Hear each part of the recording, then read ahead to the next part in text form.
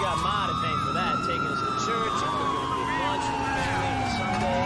When Gerry first went to juvie, she kept laying in place at the table for him. That was until my pa got into a drunken rage one evening and threw Gerry's plate against the wall. What happened? Ma didn't even flinch. She just sat there. The next week, Gerald's place at the table was empty.